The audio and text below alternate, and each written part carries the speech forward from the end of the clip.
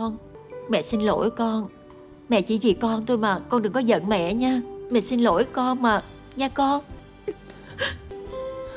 Con mà biết trước mẹ gạt con như vậy Con thà là không cần làm MV Bây giờ con sẽ về dọn đồ. Con về nhà ở với gì con. Con không muốn bị mẹ gạt hết lần này đến lần khác nữa. Phương à. Phương Phương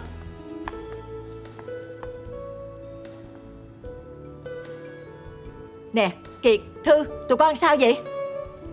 Mẹ lo cho tụi con Mà bây giờ đứa nào cũng chống đối mẹ như vậy là sao hả?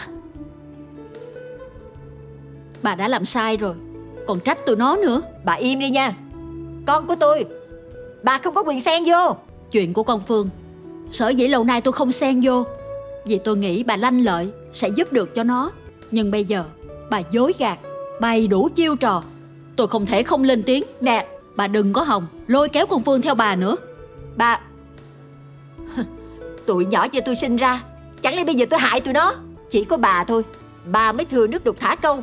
Mưu đồ Cướp con của tôi có đúng không? Thôi Hai chị đừng có cãi nữa.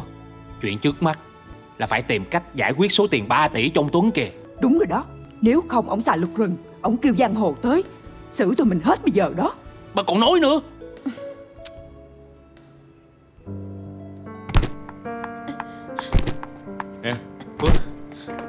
Kìa Phương Con nghe mẹ nói nè Mẹ xin lỗi con Con đừng bỏ đi mà. Mẹ xin con đó. Mẹ Từ nhỏ tới lớn Con ghét nhất là người ta gạt con. Không có. Nhưng mà con không ngờ Mẹ gạt con Mẹ gạt con hết lần này đến lần khác. Không có phải mà mẹ không có gạt con. Mẹ chỉ muốn tốt cho con thôi. Cái người gạt con nhiều nhất Chính là bà Diệu con à. Trời ơi Bà chỉ giả nhân giả nghĩa vậy thôi. Còn có biết Bà đã phá nát gia đình của chúng ta như thế nào không? Chuyện lúc xưa con không cần biết Con chỉ biết một điều là Từ nhỏ tới lớn Dì lúc nào cũng dạy con điều hay lẽ phải Dì chưa bao giờ gạt con. Con ơi mẹ xin con mà Mẹ buông ra. Kêu em ở lại đi con. Phương à Mẹ là người sinh ra em. Mẹ lo cho em thôi. Em bỏ qua cho mẹ đi. Kìa Thư Thư ơi Thư. Con khuyên con Phương một tí giùm mẹ đi con. Nói nó đừng bỏ mẹ đi mà Nói giùm mẹ đi con. Nó nhờ con đến đây dọn đồ phụ cho nó.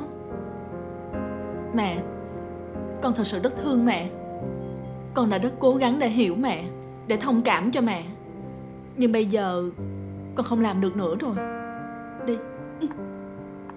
Thư Phương Thư ơi Đừng bỏ mẹ mà. Kiệt ơi Con kêu hai đứa nó quay lại cho mẹ đi Kiệt ơi. Mẹ à. Phương à Thư à. Thôi thôi.